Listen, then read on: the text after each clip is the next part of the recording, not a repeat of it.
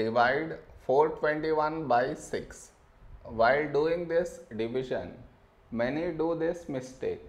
What is the mistake that they do? I will let you know. But before that we should frame it in this way. 421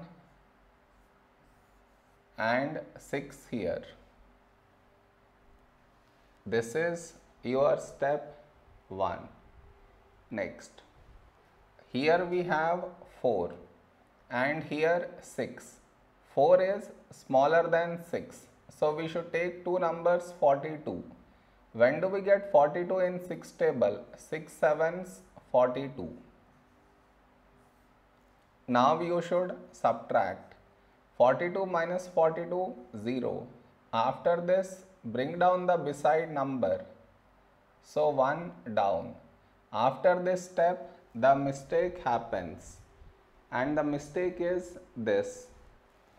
Here we have 1 and here 6 1 is smaller than 6 so what many do is they directly put dot and take 0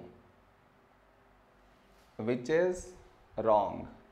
Why is it wrong? Because just now you brought this number down and in the same step you want to put dot and take 0 which is wrong. I repeat bringing the number down and also put dot take 0 bring the number down and put dot take 0 both at the same step. You should not do. Instead what you should think of doing is what number should we write here? If I take 1, we will get 6. But 6 is larger than 1. So what we should do is, we should take 0. So 6 into 0, 0. Now you should subtract 1 minus 0, 1. Over here, we did not bring any number down.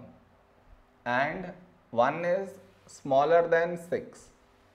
So now you can put dot and take 0. So 10. A number close to 10 in 6 table is 6 ones 6.